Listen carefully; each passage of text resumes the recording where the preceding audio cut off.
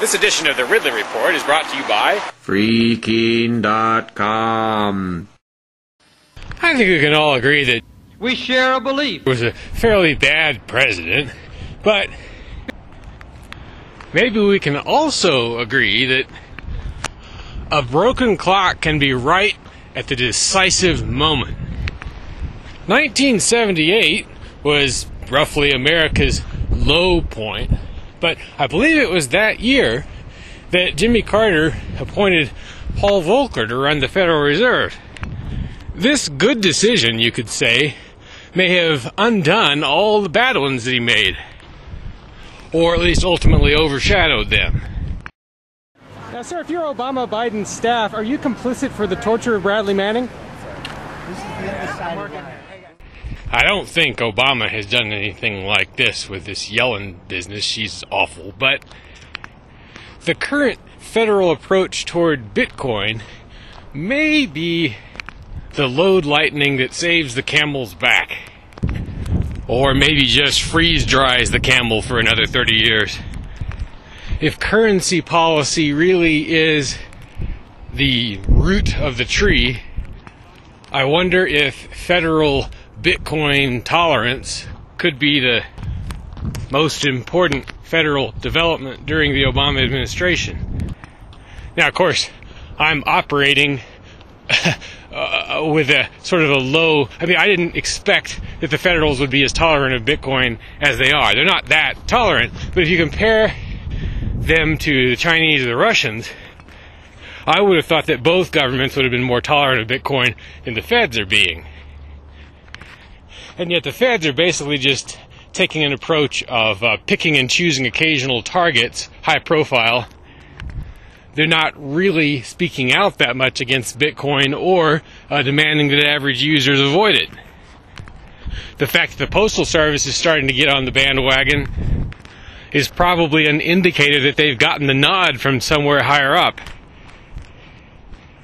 Now, is this just a show? Uh, the same way that the government has made a show of, uh, uh, uh, cooling off on marijuana,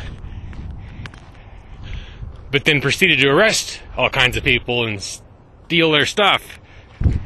I don't know, but this, this apparent relative Bitcoin tolerance uh, added to the fact that the authorities now seem to be uh, moving toward actually reducing the military and getting out of some of these foreign countries.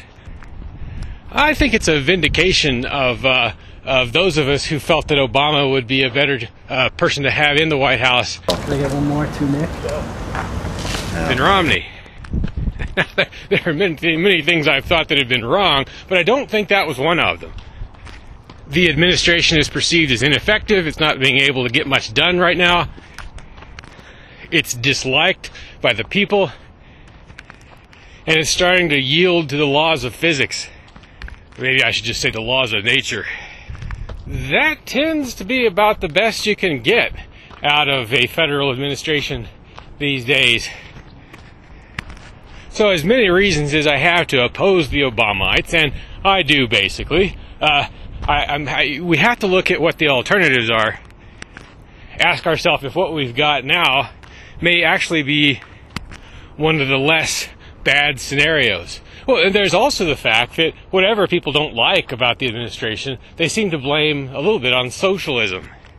Not all of them, of course, but again, if we had a Republican administration in and they were doing the exact same things as Obama, it would all be blamed on you know, capitalism or free market. Uh, this way, with him in office, the problems that, that are perceived by the public kind of are the actual problems.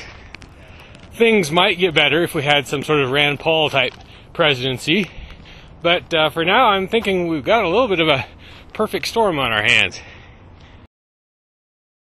What are you arresting this man for? You've seen the dramatic Liberty arrests in Keene, New Hampshire. Now see 111 reasons why you should move there and reinforce these gutsy activists. Keene's advantages are compelling, and the list of reasons to move has just been updated. For details, visit freekeene.com.